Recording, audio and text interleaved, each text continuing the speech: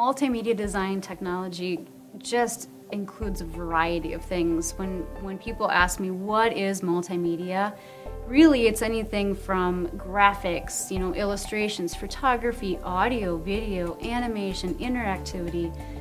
It's very rewarding to see the students um, initially when they come um, they're maybe not so skilled in the software, they maybe are very creative but not sure how to apply it. So watching them grow as designers, watching them um, become fluent in the, the software and, and, the tools that they use as designers in their career. And, you know, it really kind of builds up to that capstone project, their portfolio, which really is how they get a job. It's, it's how the employers see what they can do and see their talents and their skills. And um, it's kind of like the proud mother moment where, you know, it's like, wow, these are like my, you know, my people. I, you know, watch them mature and grow into these awesome designers that really can be a huge asset for a company.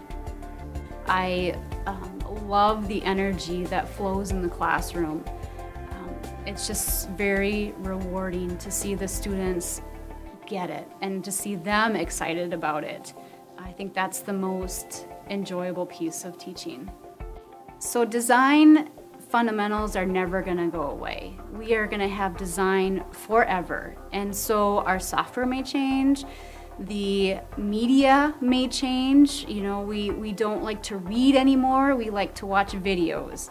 Um, when we use social media, we like to see pictures, but the core fundamentals of design, those elements and principles, the typography, the color, that is always going to be there from packages, you know, the cereal box that you buy at the grocery store to the website that you look up for a company to the billboard as you're driving down the highway.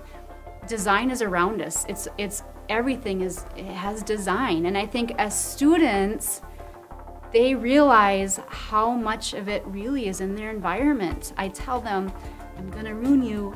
You're not gonna look at the world the same. You're not gonna be able to open up, you know, a magazine and just for fun. You're not gonna be able to watch the movie anymore because you're gonna analyze it.